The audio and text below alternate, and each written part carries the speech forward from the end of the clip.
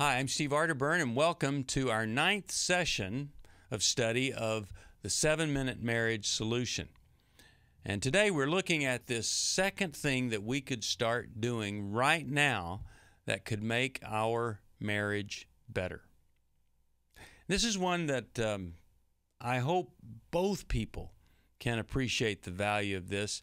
Uh, I often hear men say that they especially appreciate the value of this. But I've, I've uh, put this in a certain way that you get the true meaning of what you need to do, and that is to respond romantically to your mate. You see, I didn't say, hey, let's start having better sex together. Let's start having sex more often. No, there needs to be some romance. And so if you want your uh, spouse to respond romantically to you, then what I'm saying is you need to do something romantically for your spouse. You need to do something that is going to draw them to you. You need to speak their love language, for one thing. Now, let me just give you an example. Uh, my wife, uh, for many, many years, uh, said that she was not a person whose love language was acts of service. But as I watched her over the years, I started to notice that she really did seem to respond at little acts of service. One Saturday, uh, she was going to be gone for a few hours, and I decided that I was not going to do a little act of service, I was going to do a big one. And I turned our home into what would look like a model home. Every pile was out of the way, everything put up, vacuumed, swept, dusted, waxed. When she walked in that door, that house, literally, I would say, was more perfect or closer to perfection than it's ever been. I worked really hard.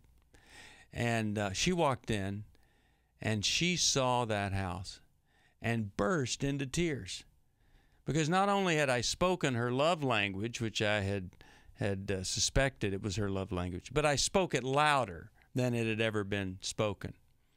And she was just drawn to me. She was, uh, in fact, she was just talking about uh, before I, I came to do this film that she was wanting to be with me um, just as much as when I, I created our house into or turned it into a model home over the next six weeks, I didn't tell her that I knew her love language was an act of service.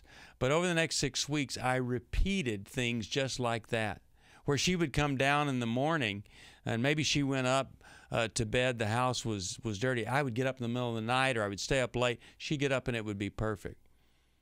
And uh, I, I remember hearing her say to one of her friends, I don't know what it is about him, but I am just drawn to him want him like I've never ever wanted him before. So to hear some woman want me, my wife, I mean, look at me. So uh, I was pretty excited about that.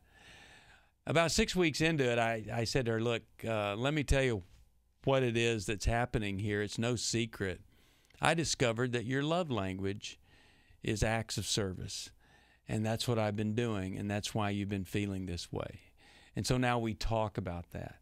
That the most romantic thing that I can do isn't uh, rubbing her neck or, uh, you know, showing up in bed and smooching and kid. No, the most romantic thing I can do is speak her love language, and so um, I do it frequently.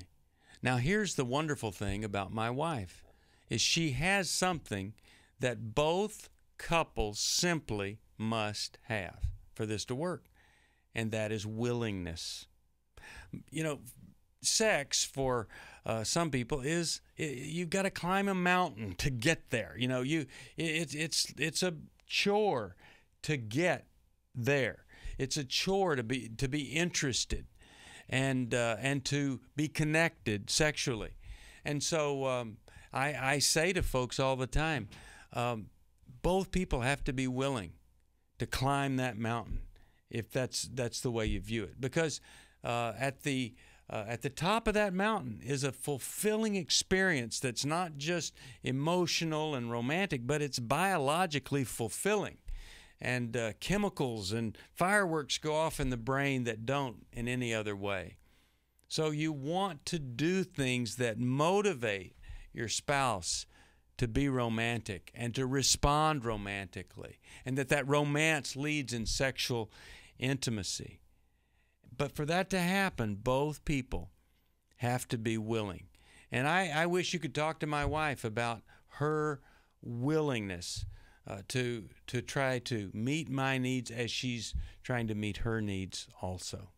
So if there's little romance in the relationship, you need to go back to the beginning.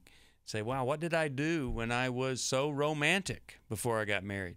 Do some of those things. What is this person's love language? Start to speak it.